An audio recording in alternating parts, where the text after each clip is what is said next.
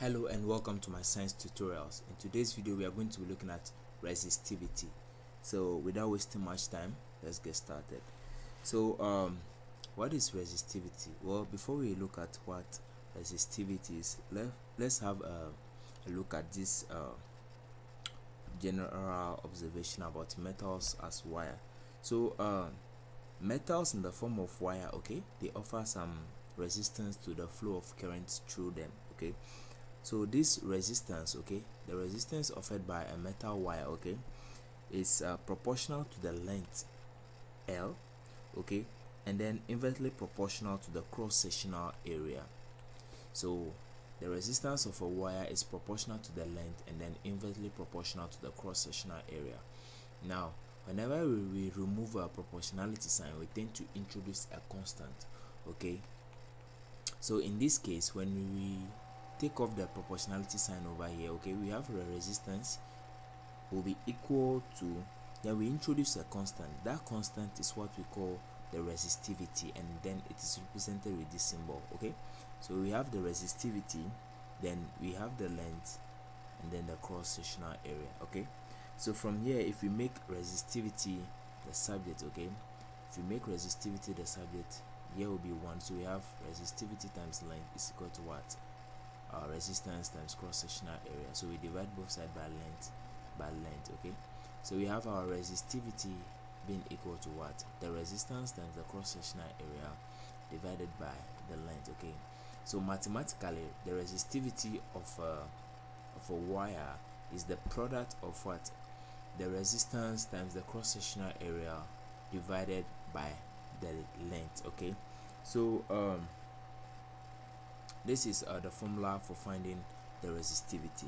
But then uh, we also need to take a good note of the fact that we are talking about wire okay?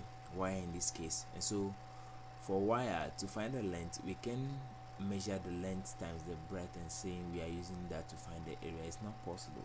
So we have another formula that is used to find the area of uh, uh, things like this okay? So in this example the wire we, we we can get the diameter okay? We can measure the diameter okay? So once we can get the diameter then we can use the formula area is equal to what? Pi d square divided by 4 okay? As our area. Now if this is let's say equation 2 and then this is our equation 1 then what are we going to get? If we substitute this in place of this we are going to be getting what? Our resistivity to be what? R pi d square all divided by what? 4l so the resistivity of a particular wire okay a particular conducting wire when uh, we don't have when we know the area and then we don't have the diameter we can use this formula the equation number one to solve and get our answer. But then once we know the diameter we can and we know the resistance and we know the length of the wire we can use this also to get the resistivity of the wire okay? So uh let's have a look at some few examples to actually appreciate what we are talking about resistivity. So let's look at example number one. So let me quickly get rid of everything over here. So example number one we have here Calculate the resistance of a coil of copper wire of length 2 meters and a cross-sectional area of what 0.44 meters square. Uh, sorry, this is supposed to be um 0.04 millimeters square. Okay, so sorry about this. Okay, so calculate the resistance of a coil of copper wire of length 2 meters and cross-sectional area of 0.04 millimeters square given that the resistivity of the copper uh, of the copper wire is 1.72 times 10 raised to the power minus 8 ohm meters. Now this is something i forgot to tell you. The SI unit of resistivity is ohm meters okay? So the resistance uh, divided by resistance multiplied by the distance so it's ohm meters okay so with this let's let's look at how to solve this problem. So we have here a solution.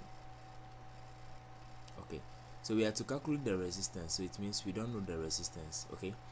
Then of the coil wire of length so we have length is 2 meters. Mind you the, the length is in meters okay? Then the cross sectional area is what? 0 0.04 millimeters square okay? So uh, millimeters is like is times 10 raised to the power what? Minus 3 meters okay? So if we square them to get millimeters square okay? If we square this side then we square this side we get what? Millimeters square over here. Then this will become what? Um 10 raised to the power minus 6 meters square okay? So to convert from millimeter square to a meter square this is the conversion okay? So from here we can see our area is equal to what? 0 0.04 times 10 raised to the power minus 6 what meters uh sorry. Yeah meters square okay. So now that we have our we don't know our resistance but then we know our length we know our area and we know our resistivity we can simply solve for resistance. And like i said resistance is proportional to what the resistivity times the length all over what the cross sectional area. So our resistance will be equal to what? The product of the resistivity which we have over here 1.72 times 10 raised to the power minus 8 ohm meters okay times the length. The length is what? 2 meters all divided by what? The cross sectional area which is 0.04 times 10 raised to the power minus 6 meters square okay? So uh one of the meters will cancel one over here another one will cancel this. So the two meter uh, the meter square we have over here gets rid of this and this. So at the end we are getting ohms which is the unit of what? Resistance. So our answer over here is let me quickly punch this into the calculator. So we have uh, 1.72 times 10 raised to the power minus 8 times 2 divided by 0.04 times 10 raised to the power minus 6 so uh, this is giving us uh, 0.86 ohms as our answer.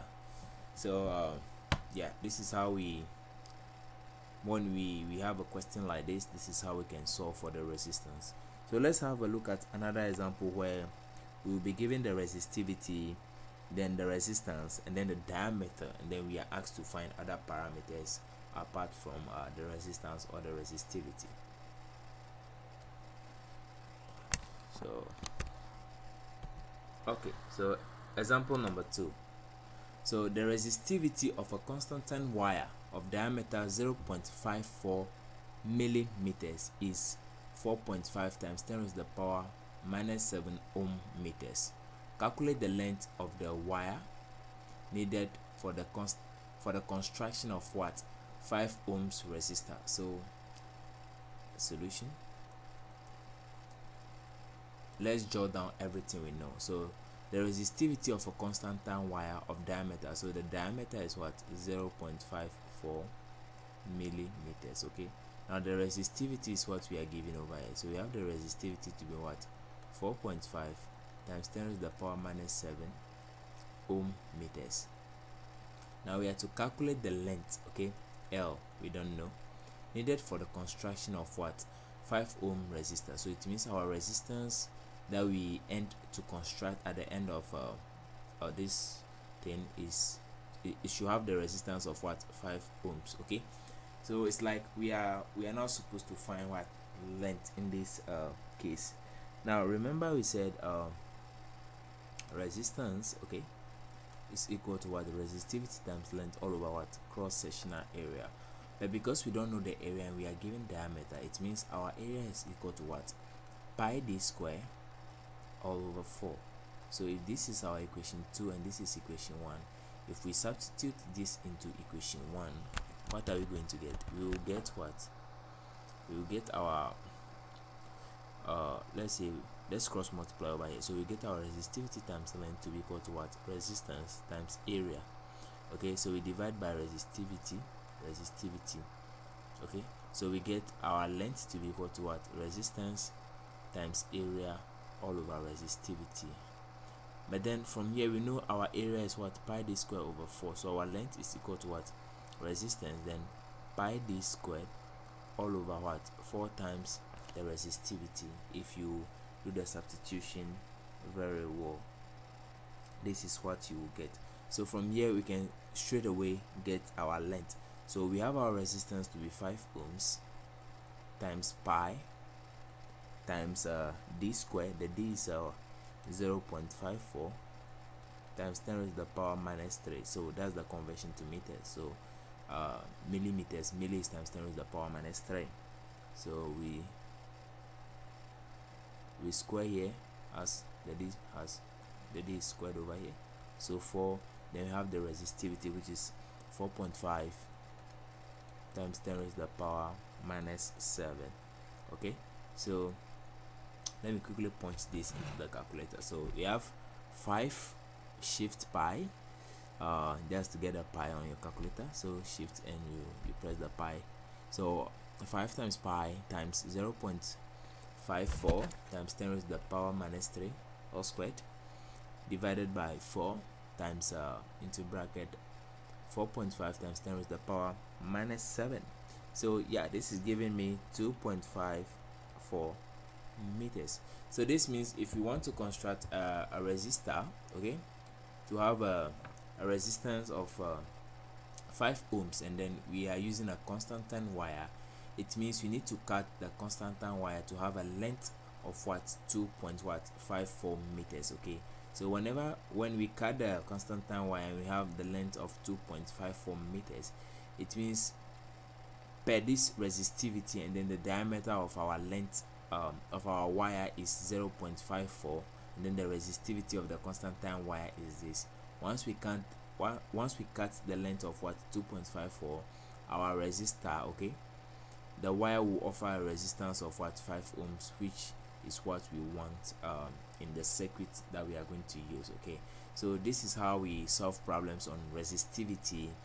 Uh, this is an extension of what direct current. And then uh, in the next video we we will probably be looking at Kirchhoff's law where we tend to look at how to use uh, loops to solve more problems. So thanks you guys so much for watching um, and I'll see you in the next video. If you are new to this channel my science tutorials kindly consider subscribing as we post daily videos on physics mathematics biology and chemistry.